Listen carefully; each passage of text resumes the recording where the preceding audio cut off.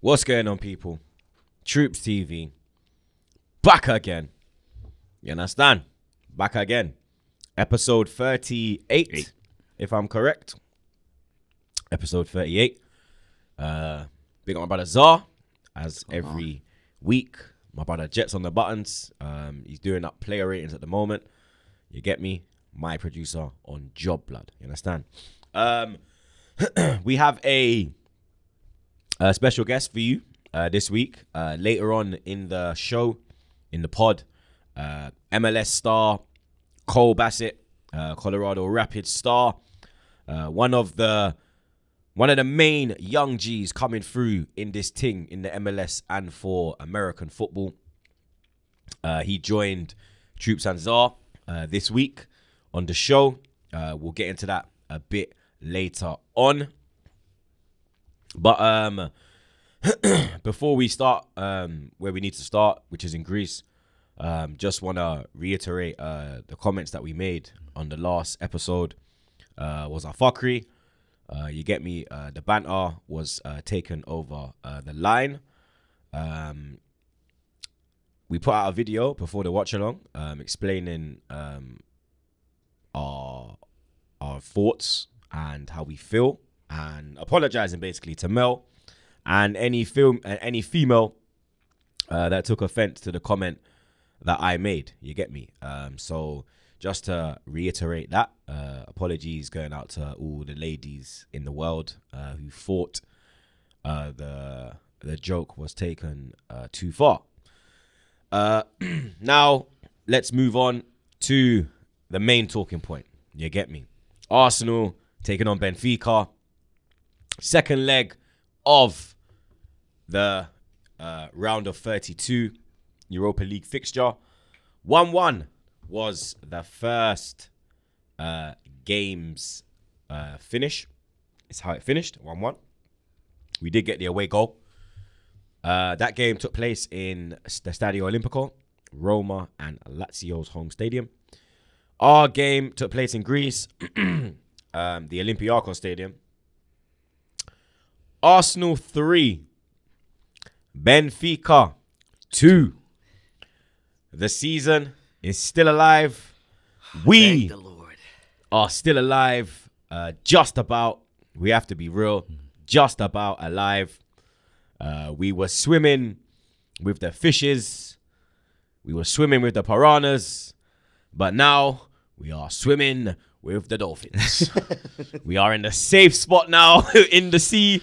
You understand? Doing up Sebastian Uh. under the sea, under the sea. You get me? Doing up crab life. you get me? Crabs in a bucket. we were nearly. It was like crabs in a bucket, blood. Niggas were fighting to try and get out of the fucking. You understand? Nah, fucking hell, mate. Safe till the round of 16, then we'll be swimming against the tide again. You get me? Fucking hell, mate. But um, the lineup um had me happy and disappointed. I was happy because I saw Gabriel, Tierney, uh, Saka, uh, Aubameyang, Smith Rowe, but not in the position where I want to see him. Odegaard. Uh, weren't really happy with Bellerin, and I wasn't happy with Smith Rowe being on the left hand side. So the lineup was Leno in goal, back four of Bellerin, Luiz, Gabriel, and Tierney. Ceballos and Xhaka were the pivot. Saka, Odegaard, and Smith Rowe were behind Abama Bloodclot Yang. On the bench, Laka, Willian, Cedric, Partey, Pepe, Chambers, Mario, Nenny, and Ketia, Ryan, Martinelli, and Carl Jakob Hein. What was your thoughts on the lineup? If I'm being completely honest, before the game, I actually liked the lineup. I liked where Smith Rowe was. I did not expect him. This is before the game. This is before the game. I liked. I, I didn't mind him being on the wing. I didn't expect for him to have as awful of a defensive performance as he did. So I was just happy for him to be playing. He's one of my players. I. Uh, I thought maybe we might have needed more protection in the midfield, which is why in my starting lineup before uh, on the previous pod I picked Elneny to, to, to play. He he provides a bit more defensive stability, which it, during the game it, it seemed like, but Partey Partey came on and he wasn't fit. So I, overall, I was very happy, very happy in the beginning just to to, to, to see the lineup. I thought I thought yeah, Arteta picked a good lineup. I was a bit like, mm, you get me. But the game started. Uh, we made a bit of a shaky start. If we're being totally honest, made a bit of a shaky start. Uh, we had to grow into the game, and if we're being totally honest, the game, uh, the game, the goal came on um, the run of form. Get me? The run, of, the, the way the game was going, the game came, the game, the goal came out of nowhere. You understand? Lovely ball from Bukayo Saka. Like that's it. Fantastic ball. Uh, by my blood clot Young with a confident finish. Very confident finish. Uh, Nice little dink. you get me? You wouldn't expect him to take it like that, the kind of form he's been on in recent weeks for the whole season, to be honest, blood. You get me? But he has that capability. He has the capability to do that. You understand? He's got that in his locker. You understand? Which is why I always say to people, like, don't turn on him, bro. Like, criticize if you want. That's calm. But don't, like, come with this stupid talk. We need to sell him this, that, da, da, da, da. Remember what he's done and remember what he can do. Form is get me? temporary, class is permanent, right? That is the saying, blood. You understand? And then, like, you get me, the game was, you know, me, just going along nicely. You know me, no real threat uh, from Benfica. And then a, um, a lazy challenge uh, from Ceballos.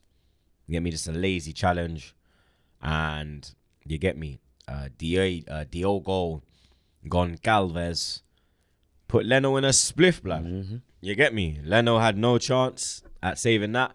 And I even said like before the build up, like when the, when when my man was putting the ball down and mm. getting ready to take the fucking the free kick, I was mm. saying that Spanish and Portuguese Spanish, players. Portuguese, Brazilians, You some don't Italian, set pieces. you don't get them man there any form of chance around the box, blood from a set piece, fam. You understand? And you saw the capability of the man, blood. No keeper saving that.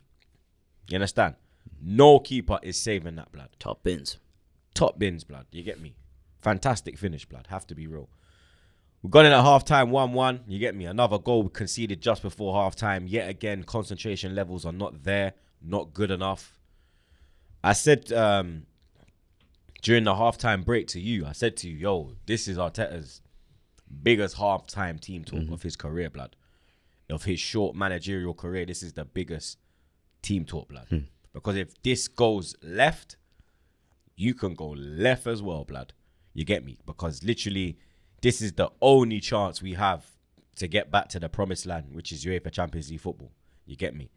And the second half started. Nothing really in the game. You get me? Benfica made two changes. We're still sitting there, no changes. And then a hopeful ball down down the pitch. Lances Ceballos.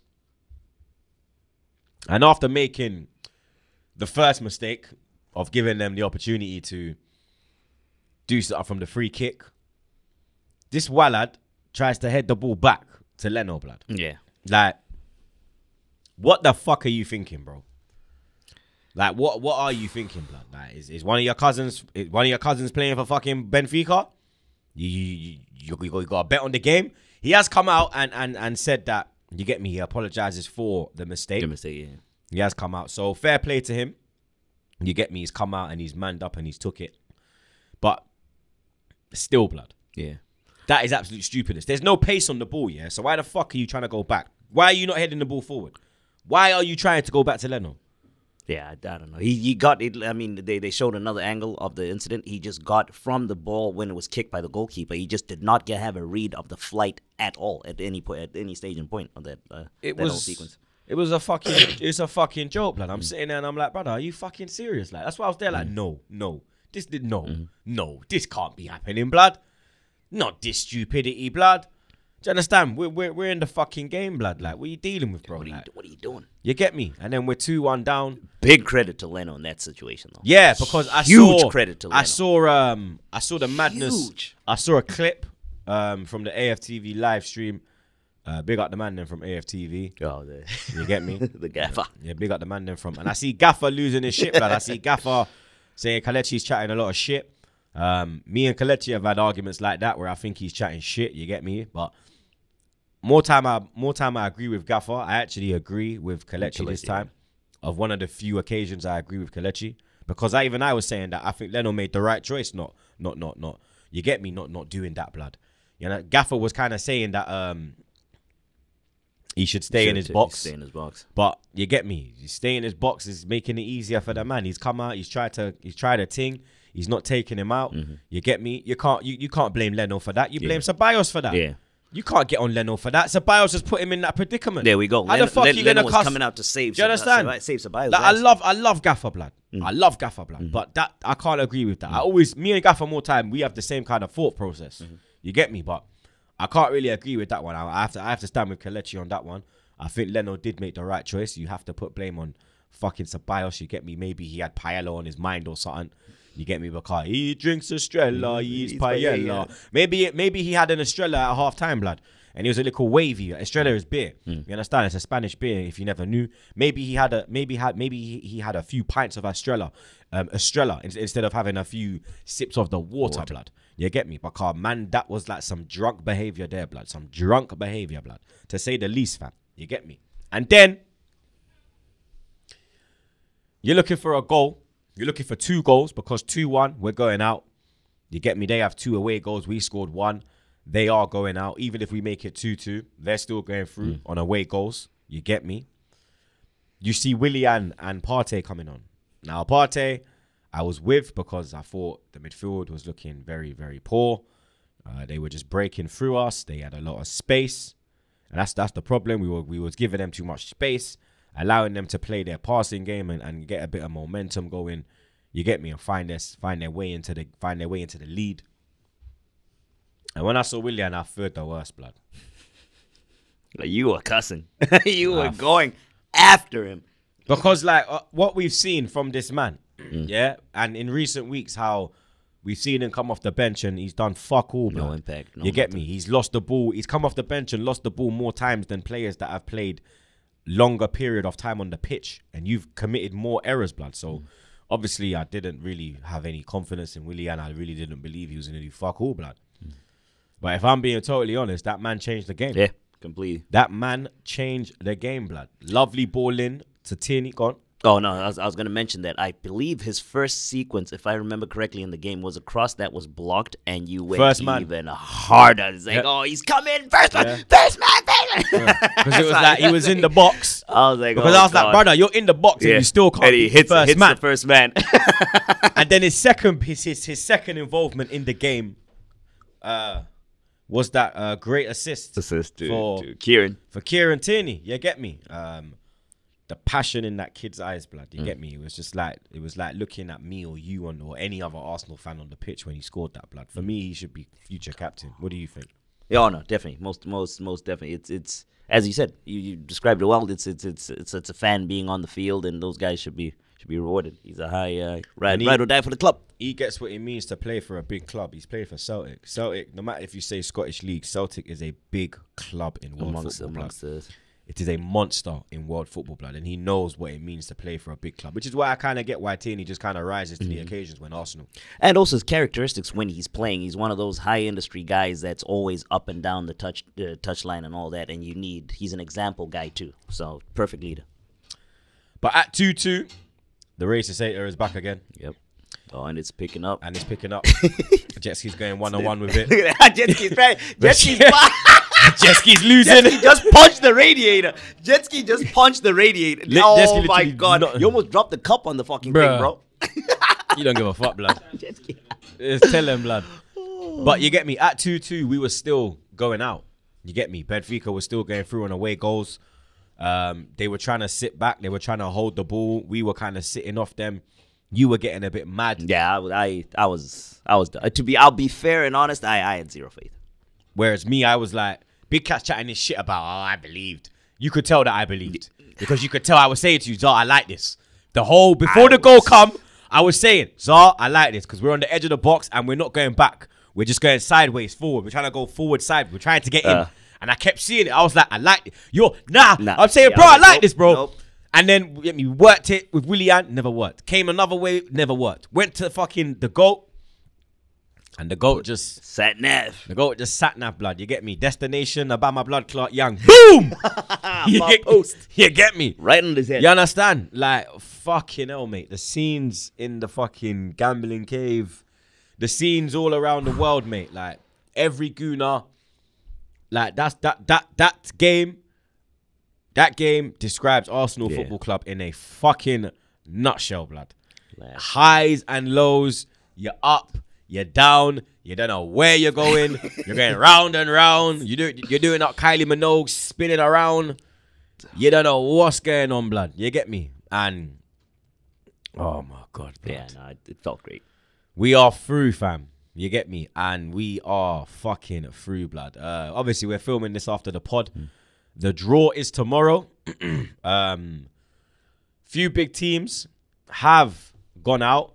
Uh, before we,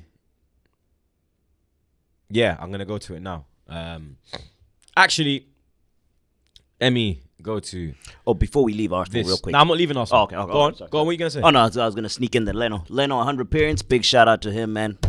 Been been pretty solid. Yeah, Leno making his 100th appearance uh, for the club. Um, bit of a shame that he couldn't get a clean sheet in his 100th uh, game, but he got a win. You get me? That's all that counts. which is which is all that counts, blood. You get me? Um, I always big up Saka, blood. You get me? I'm gonna give you Saka's stats from the game. Hundred percent aerials won.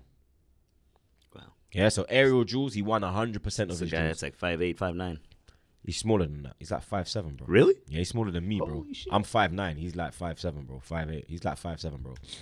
Fifty seven touches, ninety two percent passing accuracy, five touches in the opposition box, two tackles, two ball recoveries, two shots, two shots on target, two chances created, two assists. In other words, he's too good. You understand? Uh, Bukayo Bukayo Saka has now provided eight assists in the Euro, uh, Europa League since the start of last season. No player in the competition has provided more in that time frame. Kieran Tierney's goal was his first shot on target for Arsenal in the Europa League. Really? Oh. Willian's assist was just his fifth touch after coming on, after coming off the bench for Arsenal. Oh, okay. You see, I'm not. I, I, I give you the Willian stat as well, blood. I could I, I could have hit that, blood. Do you understand? But um, I, I give you the stat, blood. You understand? Um, a stat for Arteta. Uh, Arsenal have now failed to keep a clean sheet in five of their six UEFA Europa League games. UEFA Europa League home games, sorry, under Mikel Arteta. Their only clean sheet at the Emirates was against Dundalk. And we have played some clubs I don't even know they. I don't even know how to pronounce their names. dog shit teams. Like how the hell they scoring every single time against us? We're gonna have to toughen up defensively if we want to go far in this tournament. If we want to win this tournament, you get me? Because there's still some big teams in it. Uh, a bit a, a team that's not big who's still in it is Tottenham. Uh, they went through. Oh, sorry. Suck, Saka's taller than we both thought. By the way, he's five ten. Is he? He Yep. short, blood. Um, he might be my height then, so I might be five ten because he looks short. when I saw him, he weren't taller than me, bro. So I'm like, huh? Um, like I said, a, a, a team that's oh, no, they're not big, but they're still in it. But they are a bit of a threat because of the rivalry. Tottenham, uh, they beat Wolfsburg four 0 8 1 on aggregate blood. Uh, Dele Alli getting himself a goal, Gareth Bell getting himself a goal, and uh, Vinu- uh, Vinicius getting himself two. You, you saw dailies? Yeah. Back heel. Boom. Nice finish from Peanut Head. Uh, Ajax uh, beating Lille 2 1, uh, taking them to four, taking them through 4 2 on aggregate.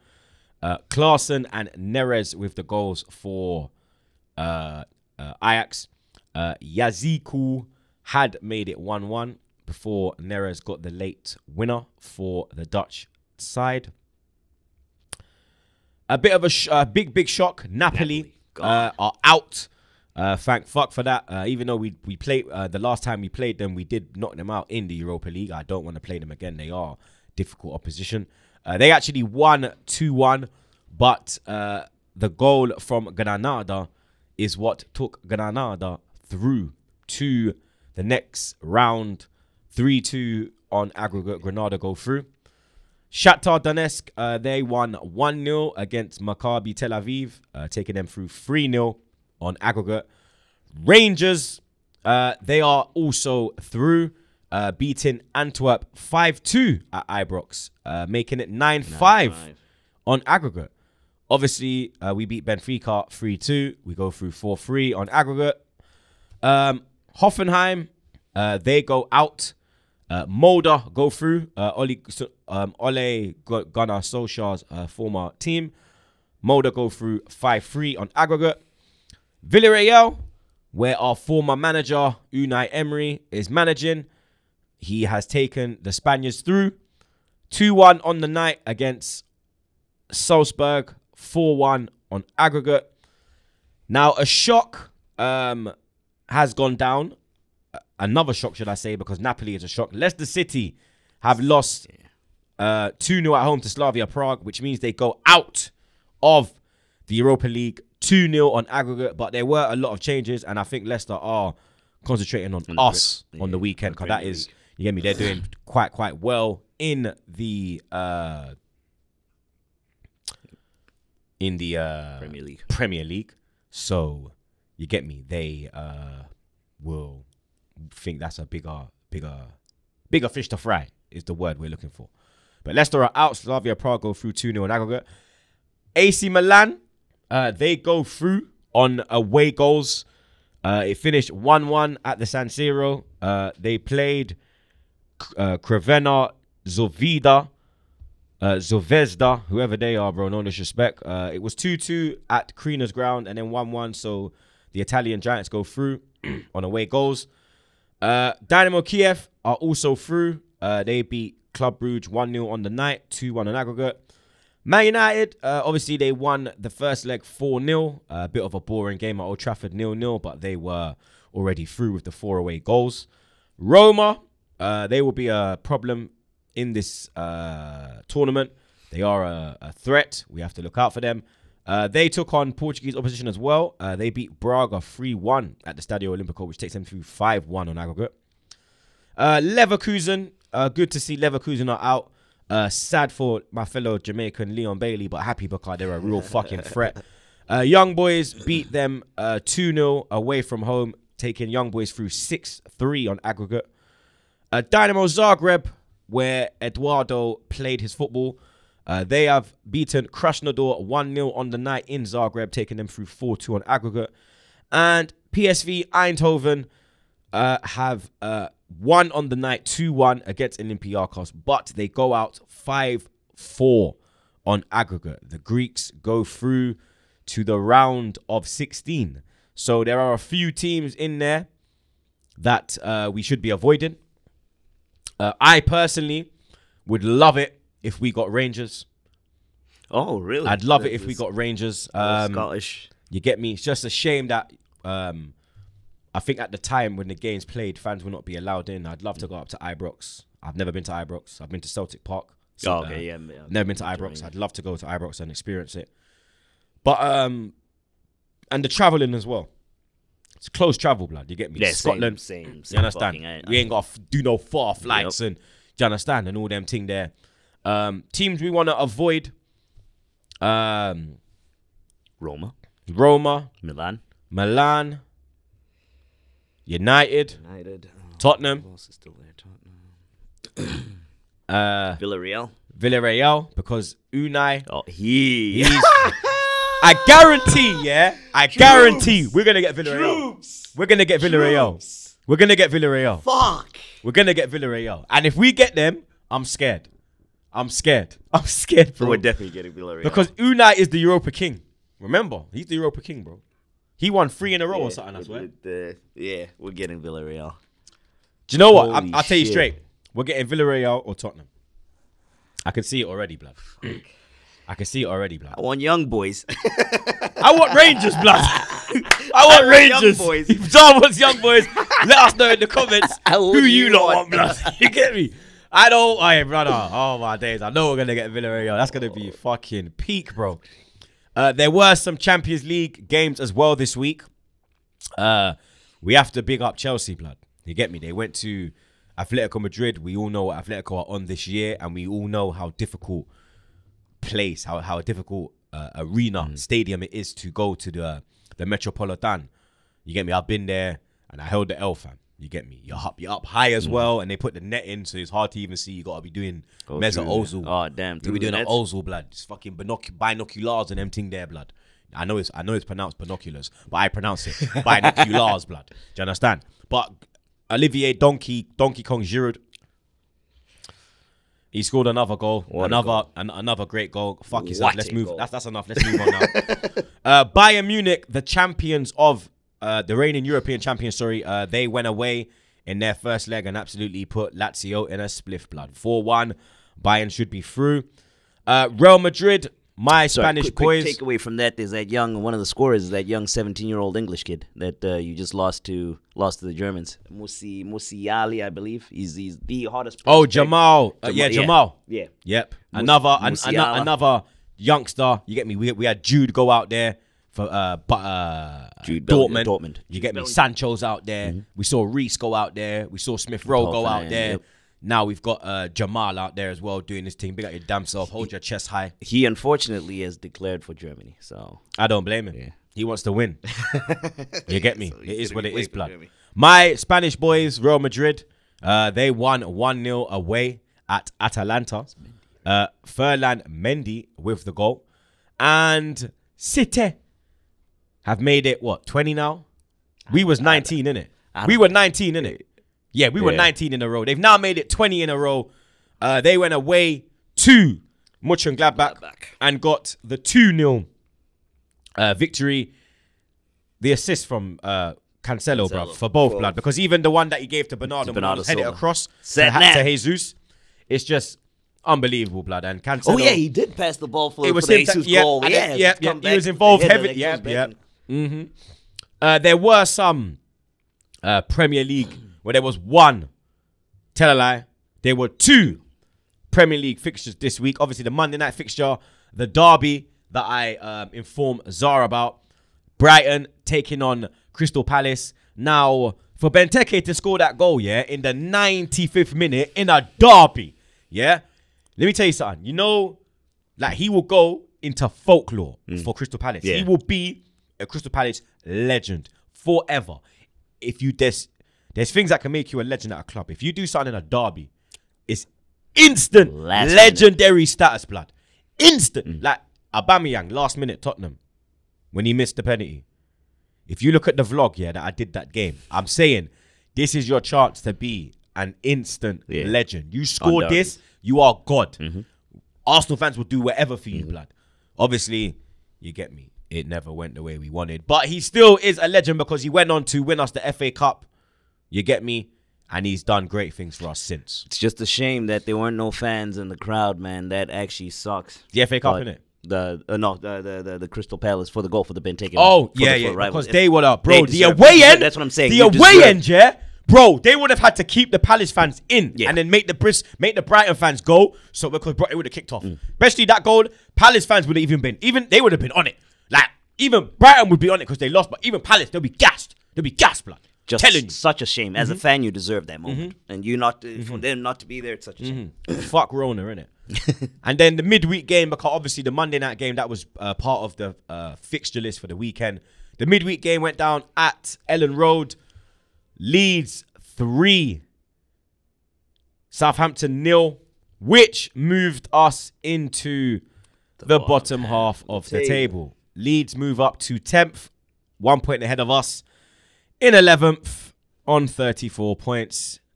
This is just embarrassing. Leeds United have won more games than us in the Premier League, and it's fucking February. It's just fucking embarrassing, mate. But um, yeah.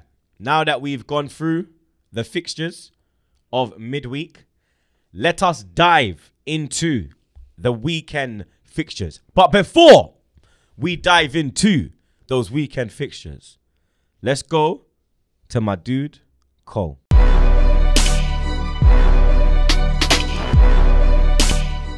We got a special guest, blood. You get me? This is my bro, Cole Bassett.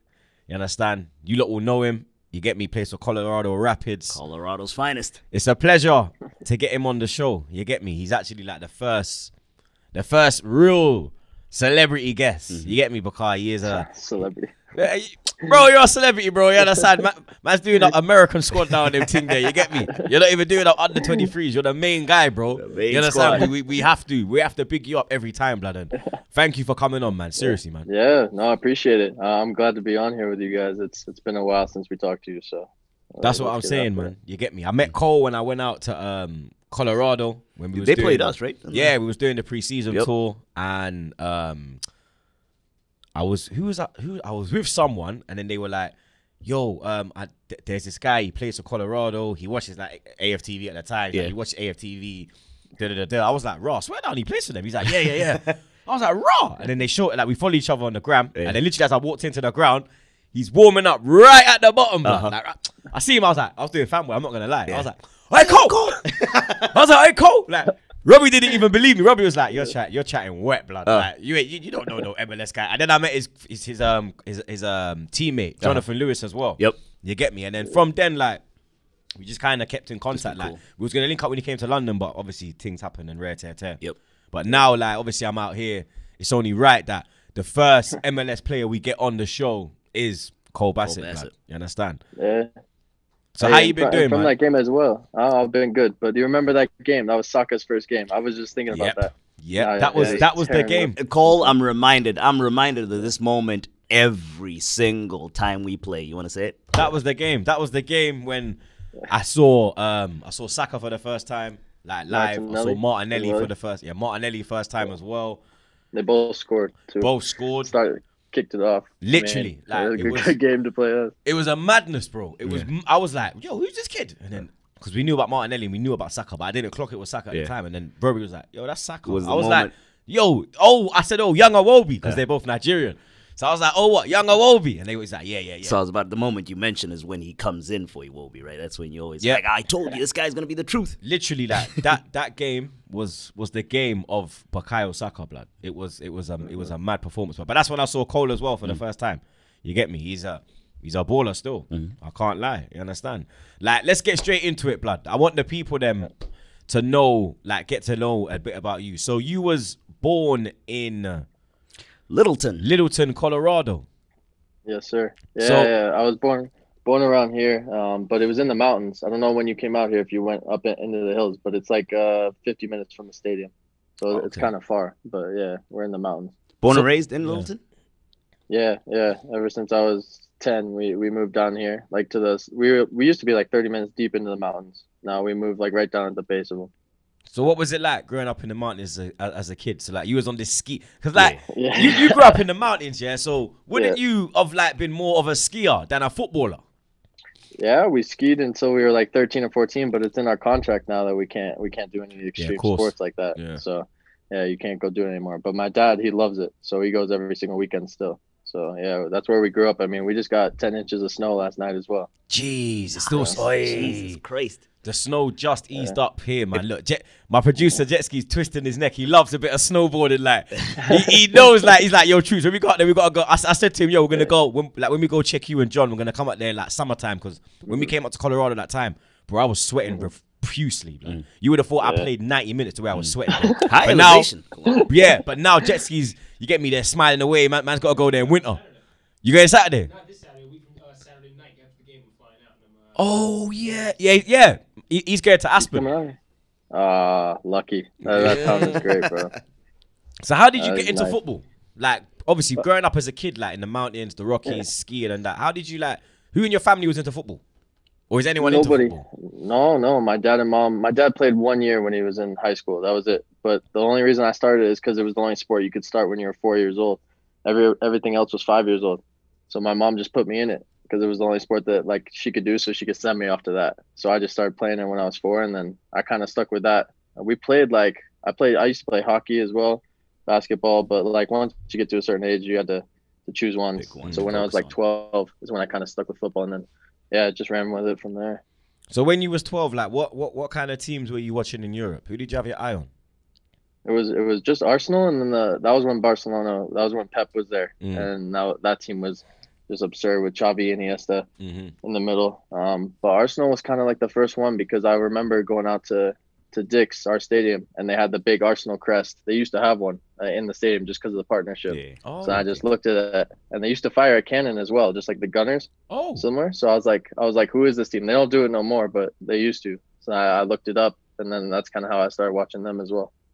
so like when so what? Them time there you was about twelve. So that's like what maybe because like what you're 19, what you're 19, 20, 19, right? you're, That's you're it. 19, 20 now, innit? Yeah, I'm That's 19 right now. Them, So so that was like Koscielny. That was like Ramsey. Ramsey that was like my Ramsey, player. yeah. San, so what? So, Santi, so, so, so, Cazorla. yeah, so the kind of man you was looking at for inspiration was kind of maybe Santi Cazorla. Yeah, him, him and Aaron Ramsey. I mean, I feel like like with goal scoring, I like Aaron Ramsey just because like Santi's just a, like a technician. I, Technician. there's not too many players in the game that are like that. I guess tough to be like him, but Aaron Ramsey, I feel like I could kind of replicate his game um, with the way he arrives into the box and gets goals and stuff like that. Yeah, tough to have two feet like Santi.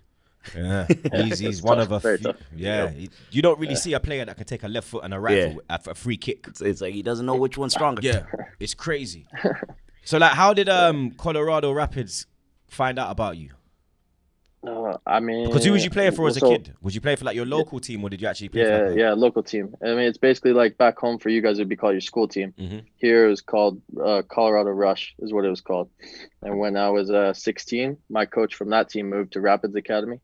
So I moved over to the academy with him. And within one year, I went from the 17s to the 19s to the 23s to the first team. It just kind of happened like really quick. And I signed when I was 17. Yeah, because you made you made six appearances in the 2018 season, and you actually got a goal. Yeah. Yeah, the last game of the season. That one was crazy. Uh, it was a, we were down one 0 in the like 80th minute, and then we scored two to win it, and I got the first one. So that one was pretty special. Quick question. So I, I just wanted to ask you about your time with the Rush. I was doing a little a little digging, and Yeah. back when you were under 14, there was a moment where your coach had no belief in you whatsoever. How did you overcome that? Mm-hmm. How did you how did you get yourself to get back? And you know, because they say that 14 is the key uh, key age in football. Yeah, I actually moved clubs like to another local uh, team when I was 14, but then I was like, what am I doing? I got to go back and show this coach that like I'm the stuff I could I could make his team. So I moved back and I started doing like two or three sessions a night. I'd even train with the girls, to be honest. Like I would do my session, the older group session, and then the girls were always later. They were always at like six at night. So I'd be there from like four to eight every single night, and then sometimes train in the morning as well. By the end of the year, I think I was starting every game for that team, and then um, the next year he made me his captain as well. So then I had that coach, and that's the coach that brought me to the the Rapids. Academy as well. So it was just kind of like training so much. It was like to the point where like nobody else was training like as much as me. So like I just got so good by like continuously doing stuff over and over. This year was like your main your main year, innit? This year, you're Yeah, this year the, the the stats are mad. Yeah.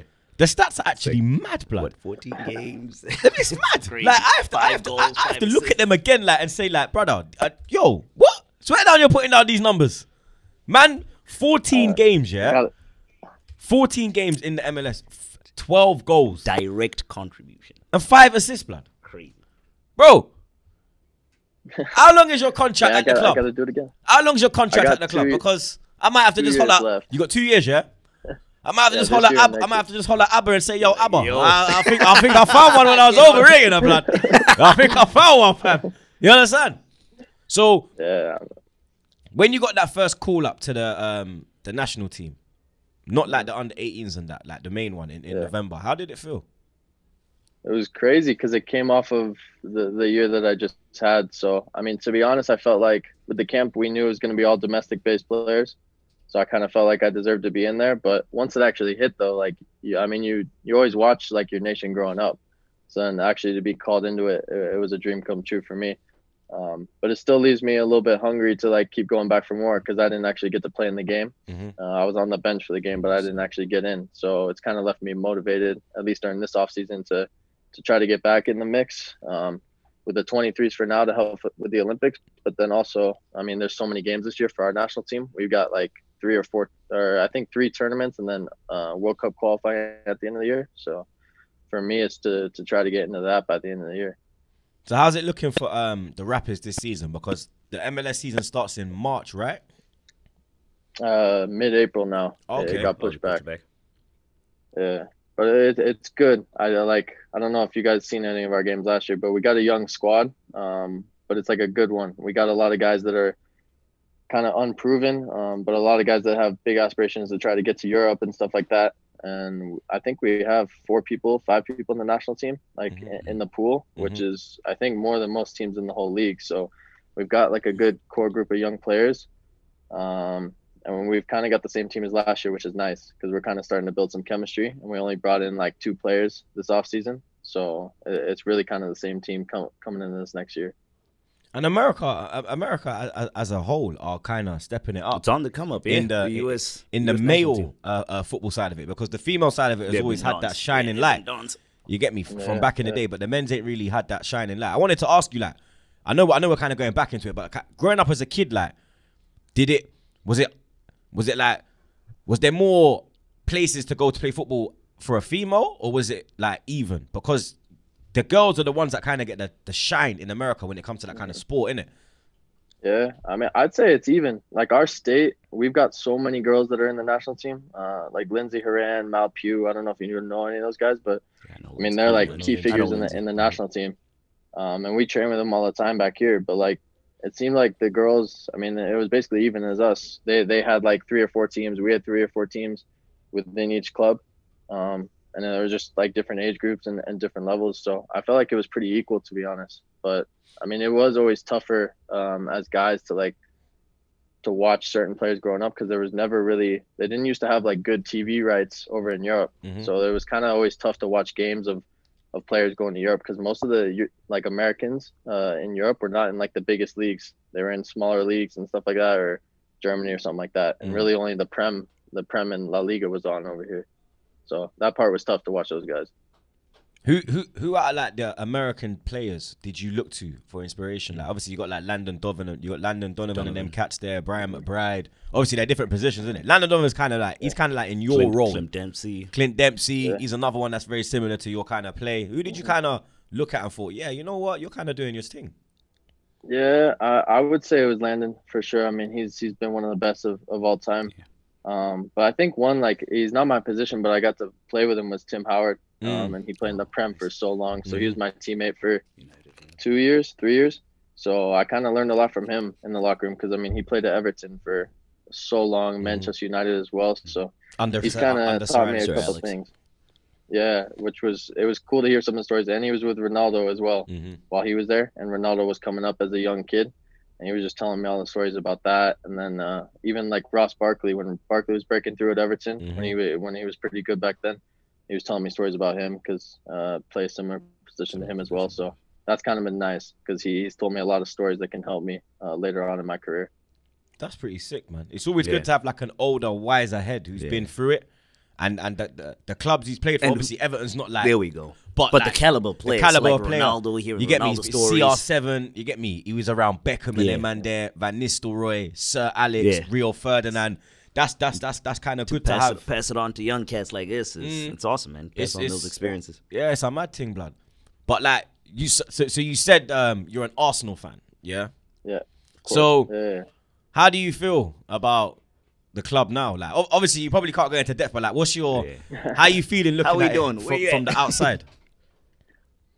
You were It's- I telling mean, me, it's no, I'm not like kidding. so, so in the Yeah, he's got a Premier- fever because, because you know That's what they want to know. That's what the people want to know. Because Kroenke pays his wages, Yeah, blood, so yeah, he's yeah. got to tread lightly. That's what they- you're telling me, yeah. I don't worry, Cole, blood. You No, can, no, I I'm- you, I'm you can, I'm you. I blood. I'll kick Zara off the podcast. You I'm can be my new, you can be my new co-host, blood. Don't worry about that, blood. Yeah.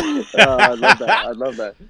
Uh, yeah, I mean it's it's it's been a tough like transition period uh, in the past year. I mean, in the Prem, it's been like uh, not anything that we'd hope for. I mean, it, when you're in mid-table, that's that's not where Arsenal deserves to be. Mm-hmm. I mean, they deserve to be at least. I mean, I remember a couple years ago we were always complaining about always finishing fourth, but now we're we're mid-table. Mm. I think the standard has to be you got to be finishing top three um, with, with the size of the club as Arsenal. But Mhm. I do like some of the, the young guys that they're bringing up. I like the trust that they have in the youth, um, given Saka the amount of time he's gotten, um, and he's he's deserved it. But there, I've watched a couple games where where him and Smith Rowe as well have, have not impacted the game as well, but they can uh, they continue to put him in and.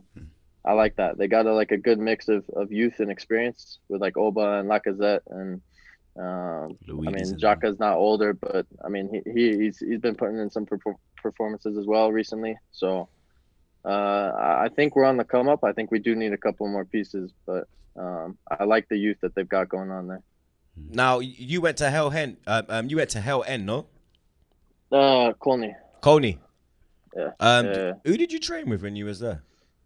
I was mostly with the 23s, but I trained with the first team a couple times as well. Uh, that was like it was the last couple weeks when Unai was there before he got sacked. Mm-hmm. So it was kind of a, it was kind of a weird time, but um, it was during the international break. So Uh-huh. it was when guys like Oba and Saka were all gone. Mhm. So I I hopped in with the first team and we did like scrimmages there, which was pretty good though because there were still like I mean when I was training it was Wasn't Ozil there? Da- yeah, like- Ozil was there. like yeah, he was on my them cats. team. Ozil, Lacazette, Tierney, Bellerin, uh, all the guys. I mean, most of the guys that just aren't regular internationals were all there. Yeah.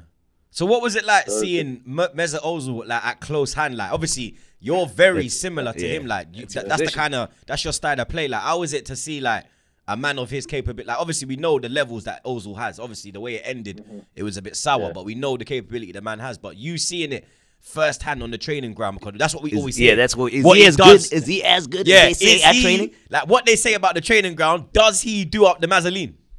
Yeah, he did. He was the best player in training. Uh, Jeez. Like you can't you can't take the ball that. off him. It, Everyone says like that. it, it didn't make any sense to me because like at the time I was watching and it was the period before he started playing. Like, Yeah. Before Before McAllister Arteta came in.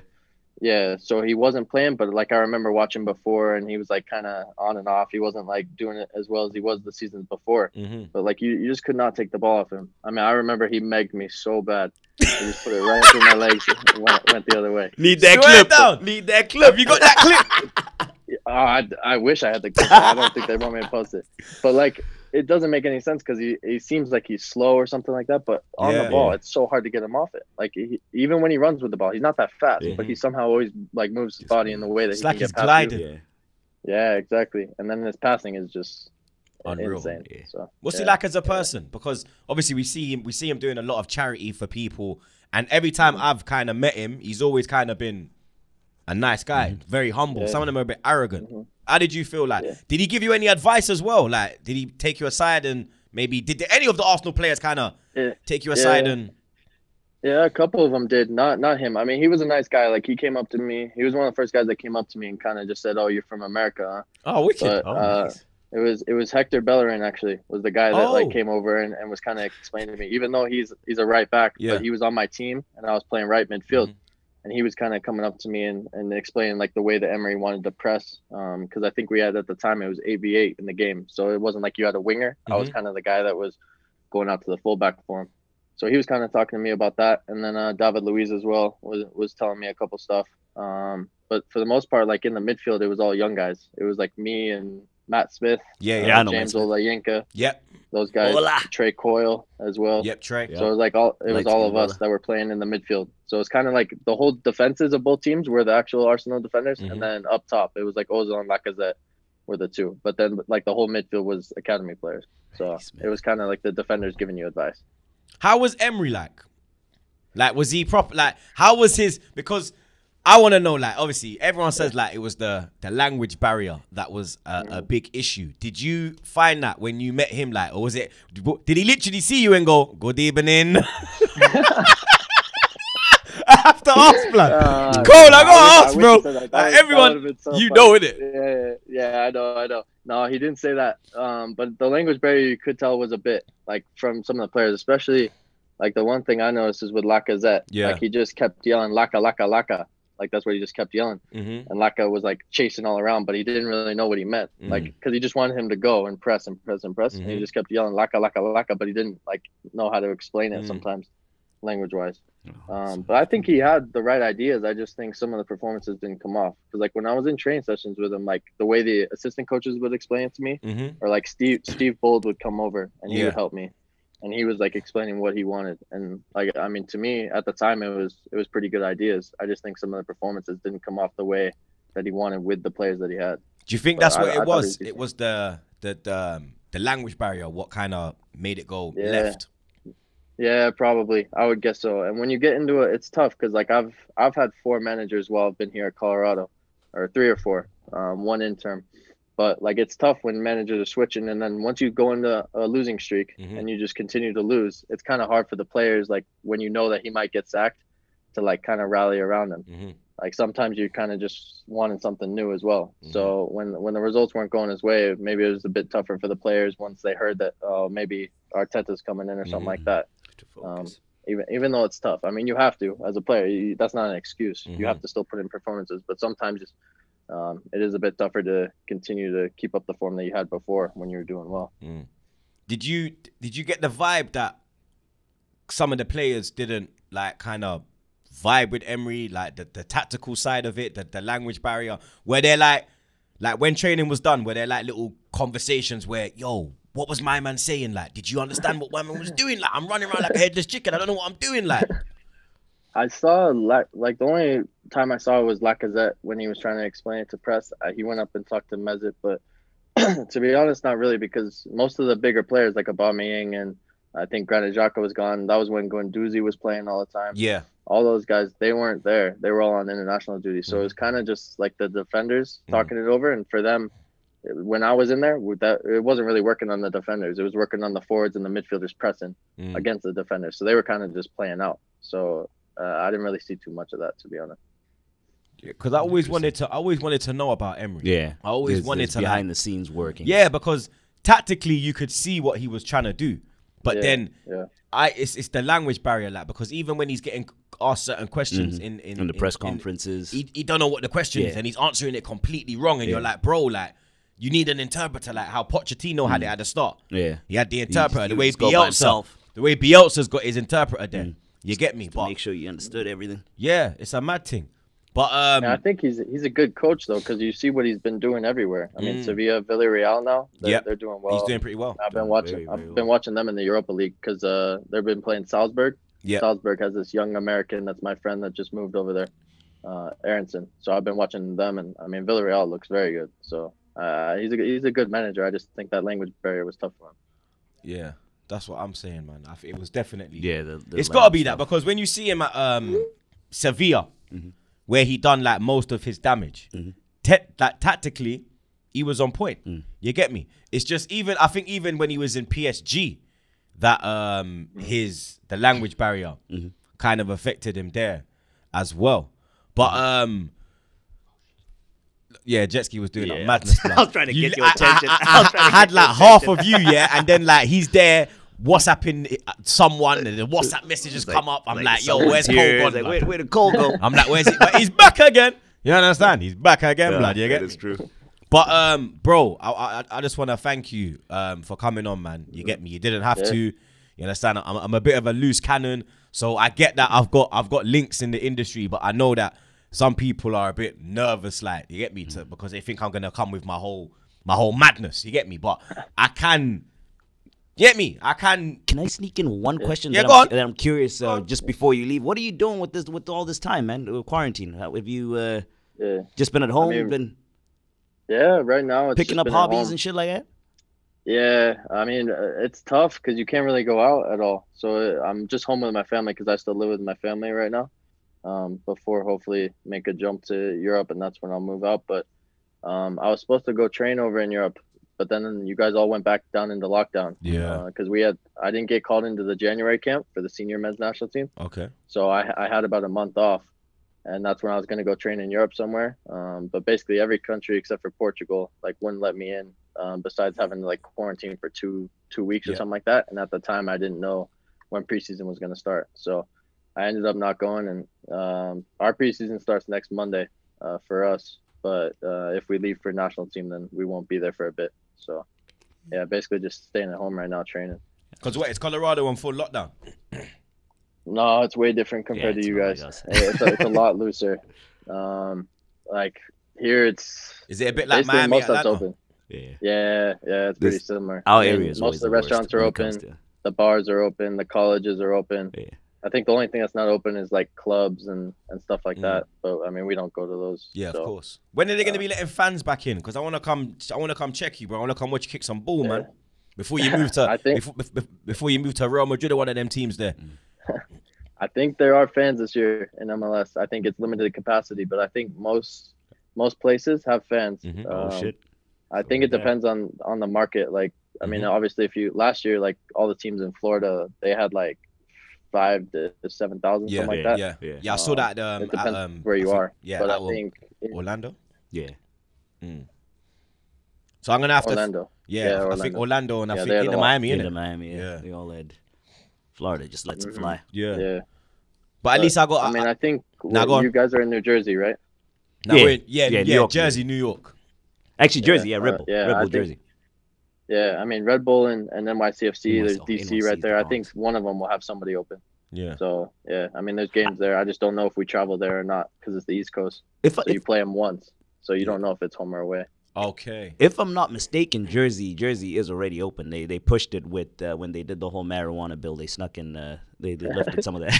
they snuck in some of that uh, the COVID. Uh, Man's got me talking Go about there. Dank with an MLS oh, whoops, player. whoops, whoops, whoops. Sorry, whoops. No No, I was, I was talking about no, I was talking about the law. I was talking Nah, I about know. it is legal though, so Yeah, boy, you it's- get me. Like it's, Yeah, it it's is like- here too. it's like imagine if you was playing in Amsterdam. Could you? Could, could you? Because it's I don't know. It's it's legal. Could you? Like I don't know. I don't know. I don't know.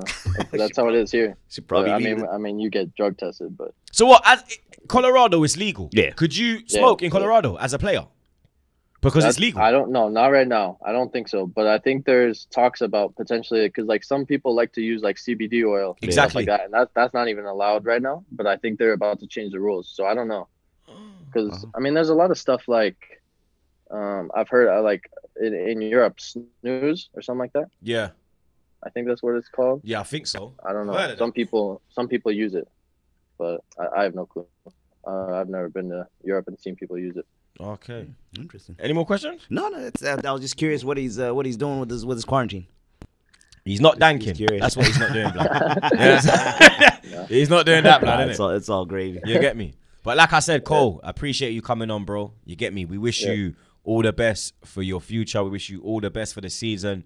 Uh, me, Jetski, and Zah, we will definitely, Definitely coming out.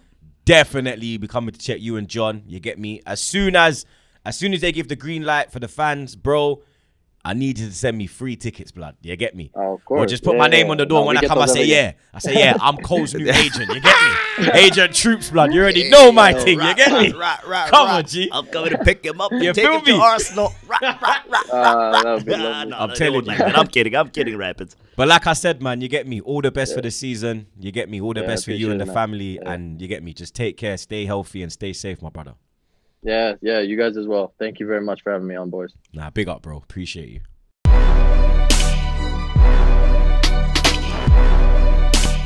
So big up to my bro Cole. You get me? Um, like I said at the end of the video, like you get me. I'm I'm a bit. I've got contacts in the game, serious contacts Yeah. in the game, but obviously because of my, we would we're gonna say uh, my reckless nature, my honesty sometimes gets me in trouble. You get me? But Very can- nice lad, bro. Bro, he's the man, bro. I like, like I say, I I, like met the way we met each other. Yeah. You get me, and we just stayed in contact since then. He's get me.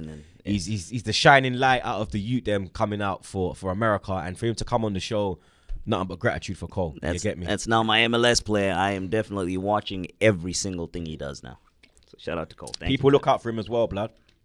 Proper baller, you get me? You understand? Might make him nap Kroenke. No, I'm joking. you see, you see. I there you go again. I just got- There you go again. I can't help myself, blood. I can't help myself. But that's why they love me, blood, isn't it? Like that. I just can't help myself, blood. But you get me. Let's slide into um the weekend's fixtures. Um, obviously we play on Sunday. Fuck my life. Seven o'clock back again.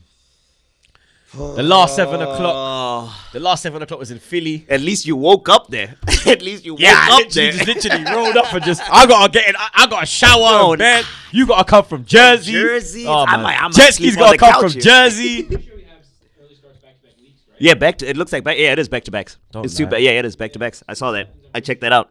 It's back. It's two seven. Oh, Burnley's Yep. half seven. Yep, it's two back. Oh no! oh fuck Two my back life. to backs, and then we're back to twelve thirty.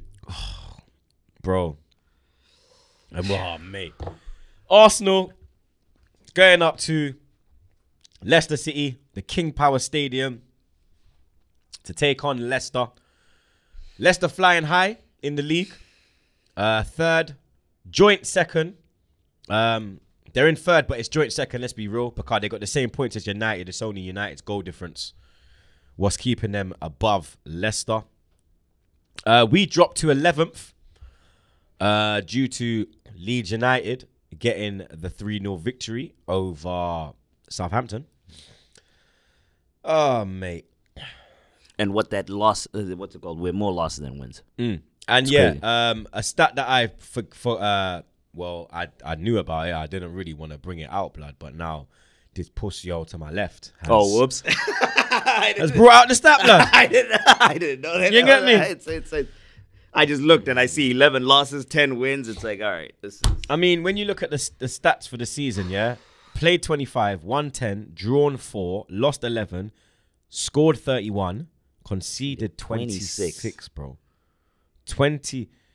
We're in February, yeah, and we have a goal difference of plus 5, blood. We are in February, and we are not even at the 40 point mark. 25 games played. 25 games, blood. This is just madness, blood. Like, how would you, you know what? Let me give you some stats here before we get into the nitty gritty, yeah? Yep. Leicester City have won four of their last six Premier League matches against Arsenal, including that. So, four wins, one draw, one defeat. One more than in their previous 36 top flight league matches against the Gunners, which had 10 draws and 23 defeats for Leicester. Arsenal have lost their last three away Premier League matches against Leicester, receiving more red cards, two, Then go. than goals scored, one, in these In three, games. Leicester have lost once to Arsenal at the King Power this season, losing 2 0 in the League Cup. You remember that? Um, I was actually in London for you that did one. that for over Zoom, right? No, I was in London. No, wait. I was still That was AFTV them before, time. yeah, that was before. That was It's before, it's before I came When over. the Zoom games? I'm trying to think of which Zoom, we was- did we did uh, Chelsea on Zoom. We did uh, West Brom on Zoom. We did Newcastle on Zoom, and we did Brighton on Zoom. Yeah.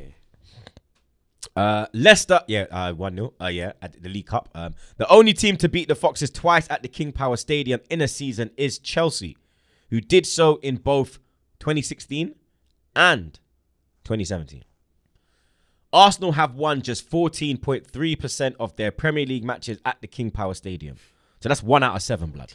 That's one out of seven, bro. Yeah, and that's when Alexis scored a hat trick at there, and um, it was and it was electric scenes in the in, in the away end. It was probably one of the best away ends I've been involved in.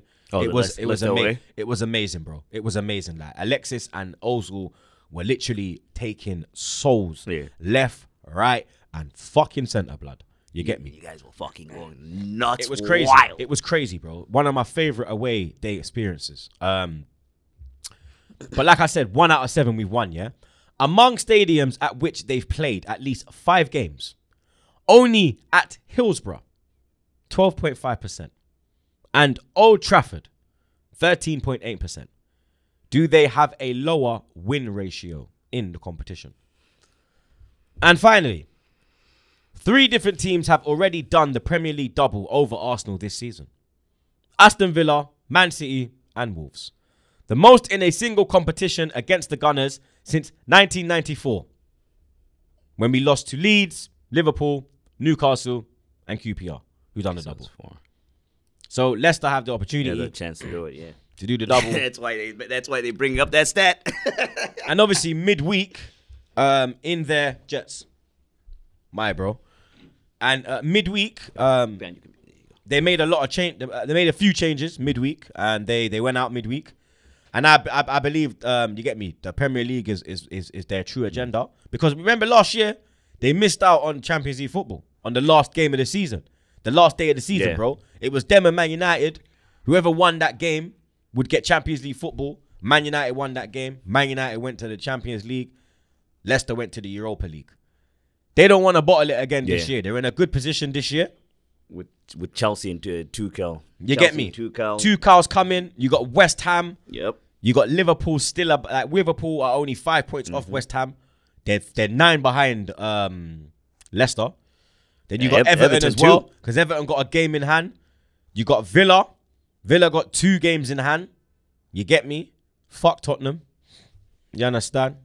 Even though they got same points as uh, Villa, they've got a, Villa got a game in hand on them pussios. But um, how would you go in this game? Is the question because obviously we're not gonna have no uh, midweek game. Yeah. You get me? Um, our next game is um, Burnley On Saturday. on Saturday, which is seven thirty. So I get a literally, I get a half an hour extra sleep next week. You get me? As opposed to this week. Because this week is fucking seven a.m. 7 a.m. So, um, how would you how would you go? Would you would you mix and blend? yes. Or would we, you we have to. because you don't want to risk a beatdown. and uh, and also especially from what we saw from uh, from yesterday, right? You know, you got the you got the Smith Rowe looked a bit naked. He needs a rest. Saka Saka's Saka been playing a a, lot and all that, so you have to factor you have to factor shit like that into into consideration. So in, in goal, I would have Bernd Leno. I'll go the back four in goal. Bernd Leno, right back. I would try. I would play Cedric. I would play. Actually, not Hector. Hector Hector's been bang average. He hasn't been standout. So I would keep I would keep Bellerin in there. I would definitely drop Gabriel. Gabriel since since he Don't you think? Now go on. I'll, I'll I'll ask you. Yeah, no, Gab- Gabriel since uh, since the whole his his uh, injury and all that. Sorry, the, the Corona incident. He hasn't he hasn't been the same defender. I'll swap him for Pablo Mari. Bring, bring Mari back in. Play him with Luiz. Keep Tierney on the left. The pivots uh, to build up Partey's fitness. If if he can start, I'd start Partey with uh, not Xhaka this time, but I'd start him with Ceballos. So I was very impressed by Ceballos. Apart from his two mistakes, apart from his two mistakes that cost two goals, the rest of his game was fine, and I liked how I liked how he was playing uh, the midweek. So I would I would uh, he has been fine too. The the last the last couple games that he's played, he's provided that dynamic, good energy, box to box stuff running around. So I'll play him in the pivot. Uh Pepe would go on the right. Martin go through the middle. Ode- Ode- Odegaard. Odegaard, yep. M- Martin through the middle. I would put Aubameyang on the left and start like I said. I would go Leno in goal. I'd go Cedric. I'd go Luiz and Gabriel. I'd keep Gabriel. keep him? You keep I him think the only way he can get that rustiness out of his game Play him out of it. is to play. For me, that's the only way that he can get out of it. Left back, Tierney. Midfield, uh, Partey and uh, Ceballos. On the left, Pepe. On the right, Martinelli. In the 10, Oh, I forgot about in the 10, Willian. Up top, Laca. Out swap, out swap. I'd put Willian in the 10. Yeah, Willian in the 10. Pepe on the left, Martinelli on the right, Laca up top. one swap to mine. I'm I'm gonna swap Aubameyang and and, uh, and Martinelli. That's You're gonna put swap. uh, Martinelli, Martinelli on, the, on the left. Yeah, on the left. Pepe, on the right. Pepe on the right. Martin, then Martin Odegaard on the 10. Uh, like I said up front. Okay. Yep. Uh, prediction.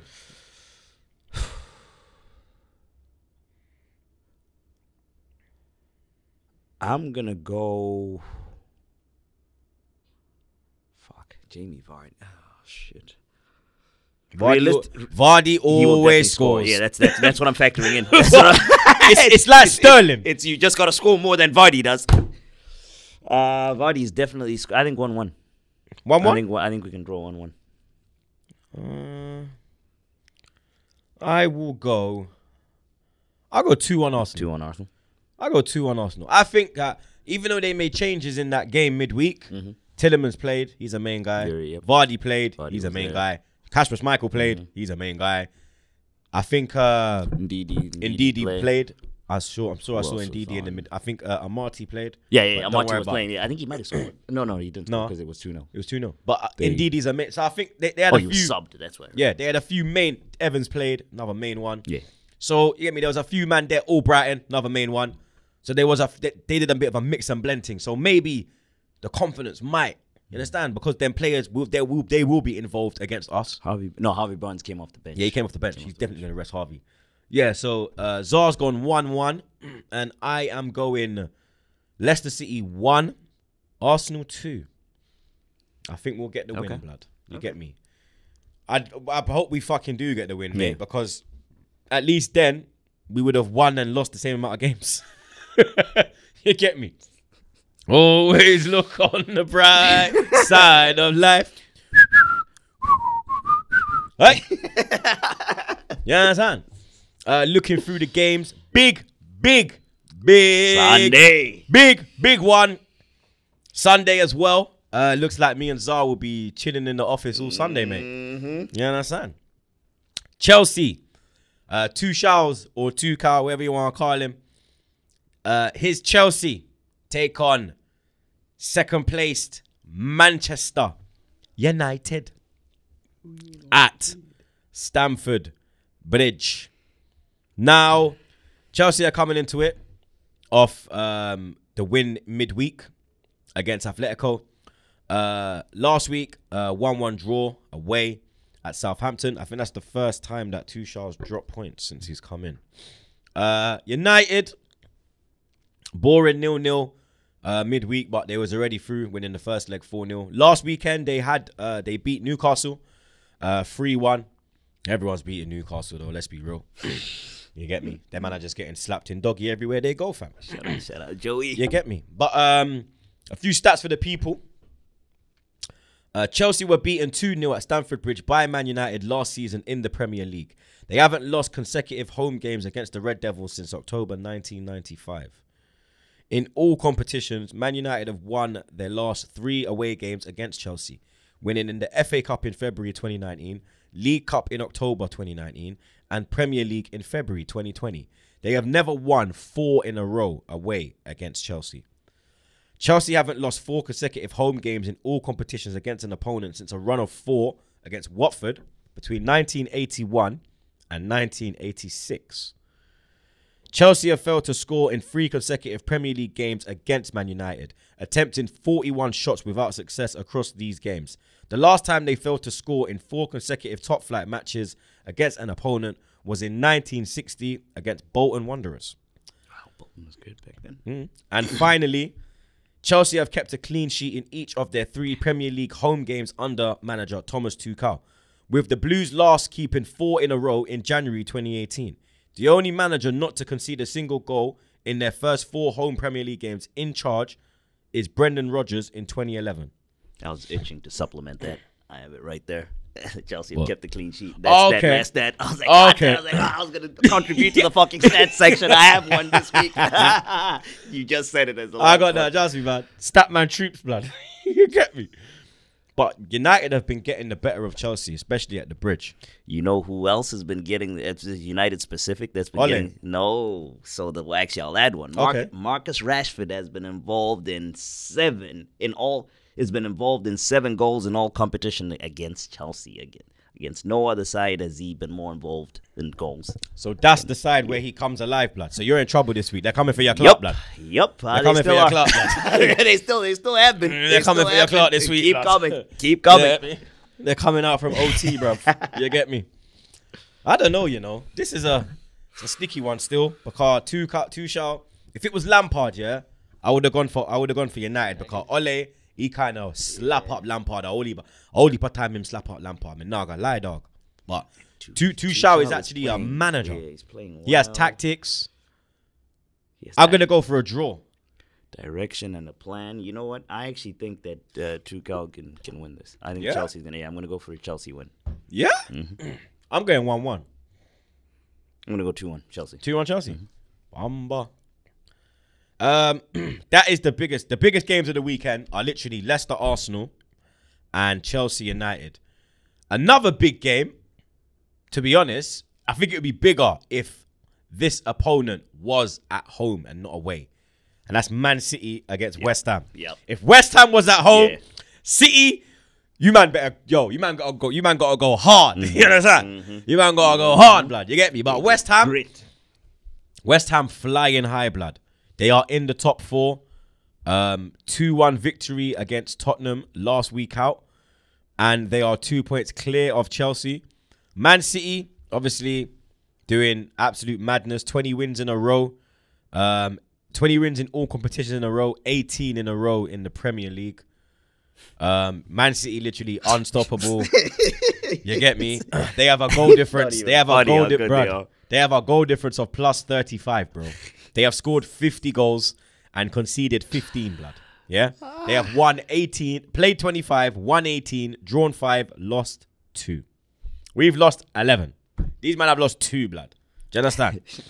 um, like I said, Man City uh, coming off um, the 1 0 win against us last weekend. Obviously, the 2 0 win in the Champions League away to Mönchengladbach, uh, Xhaka's former team. a few stats for the people. Uh, Man City are unbeaten in their last 10 Premier League meetings with West Ham, eight wins and two draws, since a 2 1 home loss in September 2015. West Ham are looking to avoid defeat in both league matches with Man City in a Premier League campaign for the first time since 2015. One win and one draw. However, the Hammers have lost 10 of their last 11 league visits, excuse me, to the Etihad. Since losing 5 2 against Leicester in September, Man City have conceded just three goals in 15 home games in all competitions 13 wins and two draws. The Citizens have won their last six Premier League home games without conceding, with Chelsea the last team to have a longer such run in the competition, and that was between the 9th of the 9th, and that was between the 9th Of April. of April, April until November. Um, November 2010. Only Man City, 33, have won more Premier League points so far in 2021 than West Ham, who have won 22. The Hammers have won seven of their nine league games in this calendar year. They didn't reach their seventh win until their 23rd match in 2020. And finally, West Ham have won just two of their 23 Premier League away games against the leaders, two, uh, three, three draws and 18 defeats, with both of those victories coming in Manchester against United in 2007 and against City in 2015. I gotta be honest, bro. You going West Ham? Man City. Oh, okay. Whew, I was oh, I was expecting you to go West Ham. Nah, Man City. Yeah. Man City's too good. Nah, Man City. Man if it was a, if it was a, if it was at Olympic Stadium, I might go for a draw. I might go for a draw. Ah, even there. But at Etihad, even there. ah, the Man form there. Nah, but West Ham have been on some good form. Mm. Good as, and at home, good form. And I know City, they have to lose one game, blood. But I don't think it's. This is- they have to that's drop not this points, one? should I say? Because they can't even fucking draw. But they, I don't think this is the game where they It's drop it. points. I'm going City three 0 Uh, I'm gonna go City two one. Sheffield United, bottom of the league. Uh, they take on Liverpool. Liverpool are in sixth, and Liverpool are in trouble at this moment in time. Uh, they got slapped up uh, last week by Everton in the Merseyside derby, uh, 2 0 at Anfield. Sheffield United, uh, they had a big game away at Fulham, and Fulham won that game 1 0. Uh, Sheffield United lost 1 0 to Liverpool at Bramall Lane last season, last losing consecutive home top flight meetings with the Reds back in September 1921. Uh, Liverpool have won their last four Premier League games against Sheffield United, uh, though those wins have been spread over the 2006, 2019, and 2020 seasons. Uh, Sheffield United have lost their last seven Premier League matches against the reigning champions. Their last win against reigning top flight champions was against Leeds in 1993. Uh, Sheffield United have lost 20 of their 25 Premier League games this season, three wins and two draws. It's the fewest amount of games the team has taken to reach 20 defeats in a single campaign in English top flight history. so you're just getting slapped up. Fewest. Oh damn. And then finally, uh, Liverpool have lost six of their last nine Premier League games, uh, two wins and one draw, as many as they had in their previous 100 in the competition. They won 75 and drew 19. The Reds have lost four consecutive Premier League games, last losing five in a row in the top flight, excuse me, in August 1953. Does Sheffield make it five? Does Sheffield make it five? Nah. Liverpool got this. I want to say yes. I want to say yes, but the fucking that that front line is just so. I think Liverpool out, will outscore them. Mm. Their defense is shaky, but uh, they they'll outscore them. So Liverpool wins. Everton, Southampton. Um, Everton obviously buzzing, coming off that great win at Anfield, first win in since 1999 at Anfield, first time they've beaten Liverpool in over eight years, I think. Uh, Southampton having a bad season, coming off a 3 0 defeat to Leeds. Everton are unbeaten in their last 15 Premier League games against Southampton, 10 wins and 5 draws since losing 2 0 under Howard Kendall in 1997. Among Premier League fixtures played at least 25 times, only Everton versus Leeds, 11.5%, has a lower away win percentage than Everton versus Southampton, 11.6%, with the away side winning just 5 of the 43 meetings between the sides in the competition. Following their 2 0 victory against Everton back in October, Southampton are looking to secure their first league double over the Toffees since 1997. Southampton have won their last two Premier League Monday games, winning 2 1 at Brighton and 1 0 against Liverpool this season. They last won three top flight Monday games in April 1992, with the second game in that run being a 1 0 victory against Liverpool. So they could actually do it again. And finally, Everton have lost their last three Premier League home games, last losing more consecutively at home in the top flight between April and September 1958, where they lost seven. Meanwhile, Boss Ancelotti has never lost four consecutive home games in his managerial career. I'm going Everton. I'm gonna go for a draw for this one. For I was I was thinking of Everton, but I think I think it's gonna be a draw. I'm gonna go Everton, man. Uh, West Brom, Brighton. Um, Brighton in 16th. West Brom in 19th. Uh, West Brom, I believe, are gone. Uh, Brighton, they'll stay up. man, like Lee Gunner. Uh, West Brom have never lost in 10 previous home league meetings with Brighton, winning six and drawing four. In the, it's the most they've faced an opponent at home in the Football League without ever suffering defeat. Brighton have won only one of their 11 top flight meetings with West Brom, drawing six and losing four, winning 3 1 in September 2017. West Brom are winless in their last seven Premier League games, drawing three and losing four, and also their last seven Premier League home games, drawing five and losing, drawing two and losing five. The Baggies have conceded a league high 55 Premier League goals so far this season. West Brom are averaging just 7.8 shots per game in the Premier League this season, the lowest rate on record in a single campaign in the competition since 1997.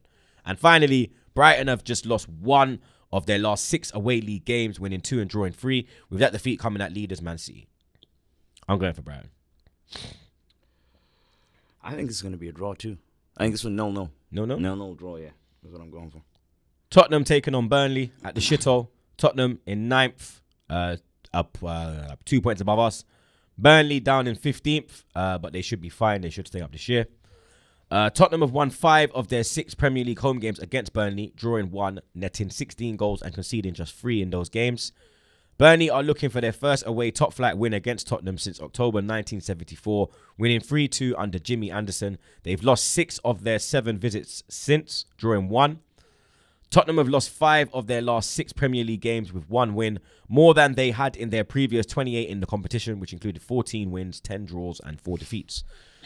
Tottenham's 10 Premier League victories this season have come against opponents with an average position of 15th in the table on the day of the game. Only West Brom 17th and Palace 16th have beaten lower placed teams on average this term. And finally, Bur- Burnley have won four of their last six Premier League games in London, losing two, more than they had in their previous 35 in the top flight, winning three, drawing four, losing 28. The Clarets have won at Arsenal and Palace so far this season. Only in top flight, only in two top flight campaigns have they won more in the capital.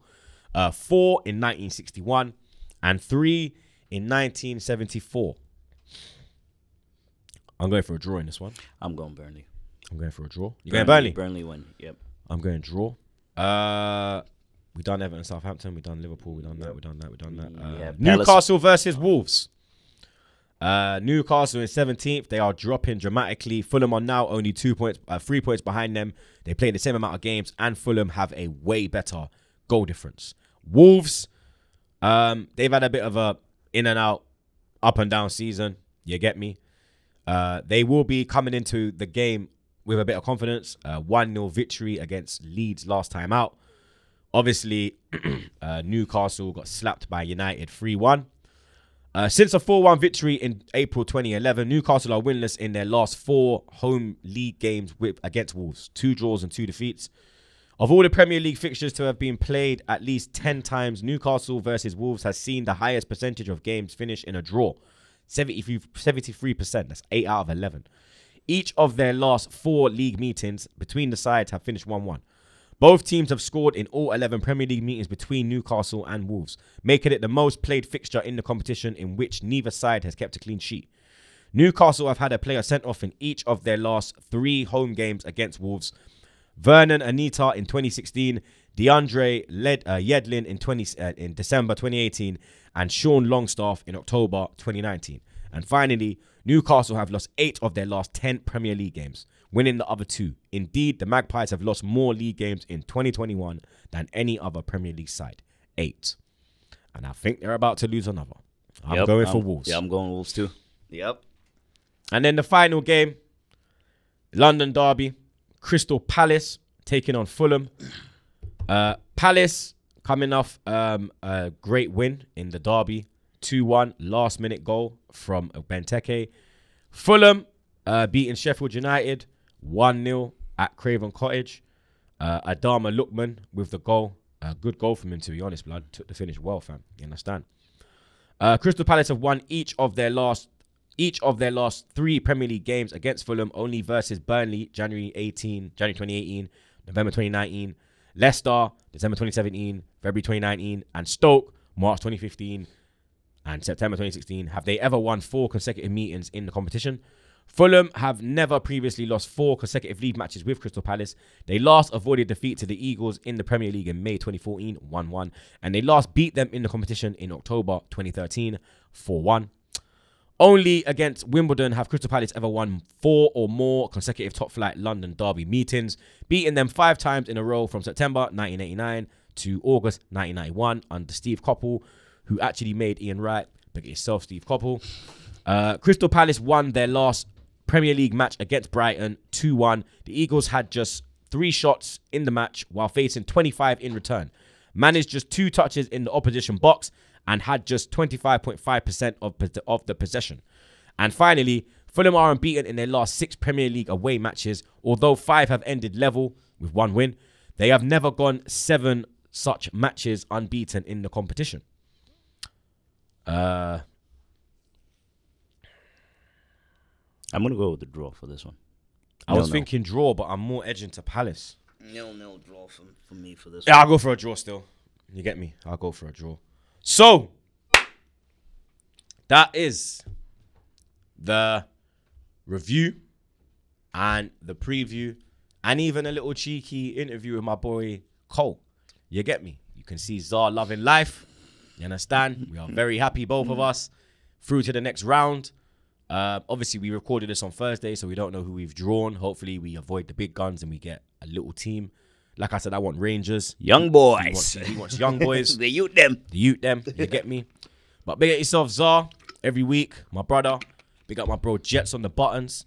And like I say every week to the people, them, stay safe and wash them fucking hands, blood.